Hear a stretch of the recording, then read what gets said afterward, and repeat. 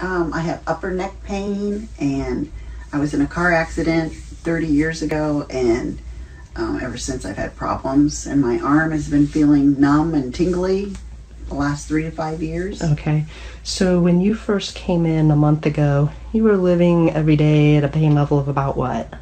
Um, I don't three to five. Okay. Yeah. And so after about your second or so session, you had noticed some pretty significant pain relief. And Right. I'd say at about three sessions, you were offering me pain levels of zero. Right. Ah, it feels really good. I mean, I may get a little tingling now and then, but nothing like when I came in here. And what do you feel when you're on the Magnosphere? You feel really relaxed and you just want to lay back and take a nap.